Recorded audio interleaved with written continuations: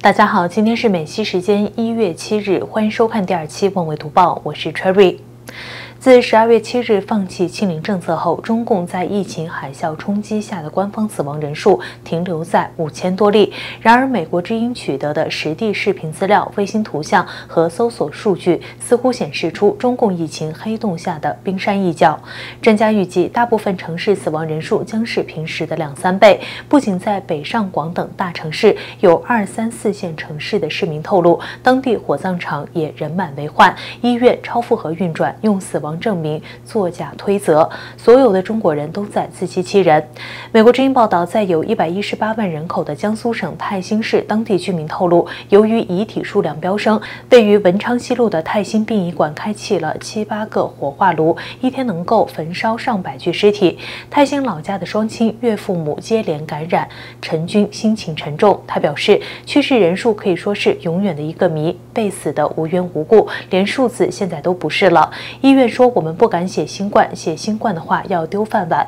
所有的中国人都在自欺欺人。陈军无奈地表示，每个人都在关心我的家人到底是怎么去世的，还有究竟是什么造成了这次疫情的突然爆发。从药品管制到疫苗无效，其中又有多少人为酿成的冤魂？十二月底前往武汉同济医院、中南医院、协和医院等地走访拍摄的武昌区居民王女士，再次体会了二零二零年初武汉封城期间的恐惧。他在医院里待着很痛苦，病人们大张着嘴，空气里散播着死亡的气味，没有床位，没有氧气瓶，去医院有用吗？打的就是消炎的药。他还从殡葬业工作的朋友了解到，武昌殡仪馆八个火化炉，二十四小时不停运转，一天烧一百多具，从十号到现在两三千具有了。王女士说：“真的很恐怖，完全回到了三年前的原点。三年前就死的不明不白，现在死的还是不明不白，灾难一直在重演，悲剧从未停止。”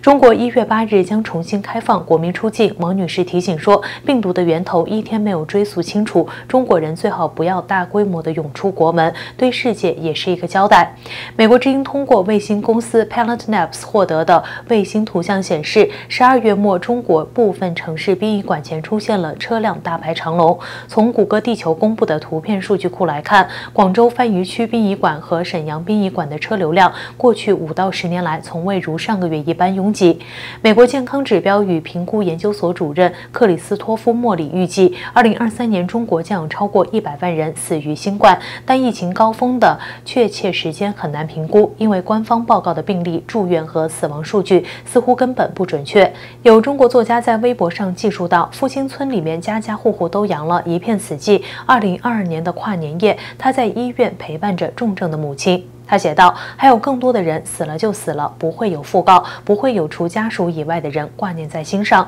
这个数字有多少呢？不知道。只是现在连火葬场都有了黄牛票。这滔天洪水一样的疫情，这铺天盖地的死亡阴影，事情何至于此？一月七日开始的春运预计将迎来二十亿人次的大迁徙，人流高峰与疫情高峰叠加，对于可能在农历新年期间来袭的第二波死亡浪潮，美国华裔流行病学和公共卫卫生专家丁亮敦促北京当局更加公开透明地分享数据，流行病学家和公共卫生人员可以借此更快地评估应对举措，还应立即允许进口适应 Omicron 的新疫苗，包括接受西方唾手可得的捐赠和援助。丁亮表示，所有这些措施都可以挽救更多人的生命，但问题在于中共为什么不这样做呢？这真可悲。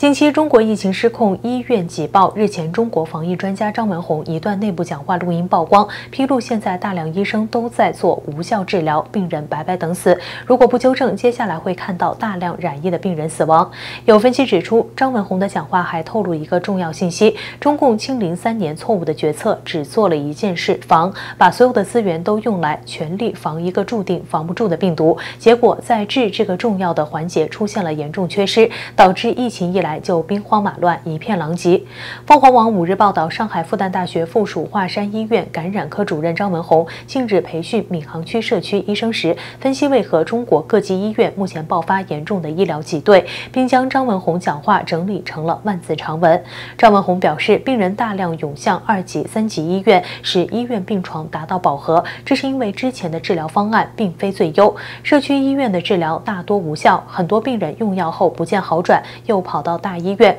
结果大医院治疗效果也不佳，许多病人住院后。缓解率很低，甚至病情加重，最终导致死亡。用张文红的话说：“我为什么急了？我感觉到大家没有在用正确的救治方案，该活的病人都没有能活下来。这两天各个地方的死亡数是上升的，我们是不是通过有效的治疗让死亡数往下面走？再过一个星期就来不及了，因为大面积感染现在正在发生。”张文红还提到，目前针对患者一般就开四种药：退烧药、抗菌药、咳嗽药水、其他辅助药物。但这四步法大概率是在消耗掉病人最宝贵的黄金七十二小时，但是医院正一次又一次地延续这样的无效治疗。针对上海大医院住院已经饱和，张文宏还建议社区医院不要让病人一股脑地跑到大医院，造成医疗挤兑。开一个病房买一个病人，当你收不进去的时候就等死。但是能不能不要大家集中在一起死？海外时评人士唐金远分析指出，张文宏的讲话透露，中国大部分社区医院。甚至二三线医院都缺少抗病毒药物，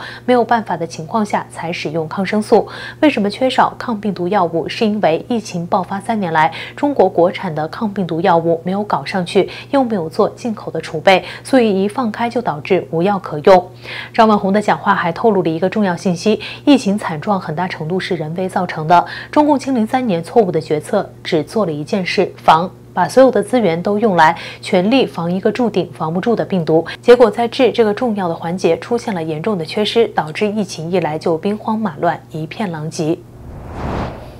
中国科技金融巨头蚂蚁集团七日宣布，其创始人马云在一系列股权调整后已放弃对该集团的控制。同一天，泰国媒体爆料，中国亿万富翁马云现身曼谷。据报道，蚂蚁集团七日在官网发布公告，表示该集团进行一系列股权调整，在调整完毕后，蚂蚁集团各主要股东彼此独立行使股份表决权，且无一致行动关系，不再存在任何直接或间接股东单一或共同控制蚂蚁集团的情形。根据路透社的计算，马云此前在蚂蚁集团拥有超过百分之五十的投票权，但此次变动，他的持股仅剩下百分之六点二。而根据声明中透露，该公司先前复杂的控股结构显示，其创始人马云此前间接控制了蚂蚁集团百分之五十三点四六的股份及投票权。此外，马云本周被发现在泰国曼谷进行社交活动。一些网络帖子和当地媒体报道显示，马云人在泰国。最近一次看到马云是一位米其林星级厨师。时，